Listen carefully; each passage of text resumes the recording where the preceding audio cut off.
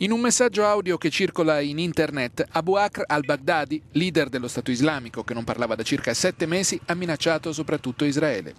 A ottobre si era parlato di un possibile ferimento di al-Baghdadi in un bombardamento dell'aviazione irachena contro il convoglio in cui viaggiava. La notizia però non è mai stata confermata. Secondo gli analisti si tratta di una chiamata alle armi per tutti i simpatizzanti e combattenti in una fase chiaramente difficile per lo Stato islamico, costretto sulla difensiva. L'audio è comunque recente perché affronta il tema dell'alleanza promossa dall'Arabia Saudita a metà dicembre.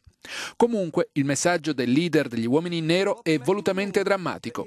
State certi, ha detto, che lo Stato islamico è in buona salute, più le nazioni si accaniranno contro di lui, più sarà certa la sua vittoria in Allah e la correttezza del suo cammino. E nel giorno in cui al-Baghdadi torna a far sentire la sua voce, un nuovo allarme attentati per le capitali europee arriva dall'Austria. Un nuovo attacco potrebbe esserci durante le feste.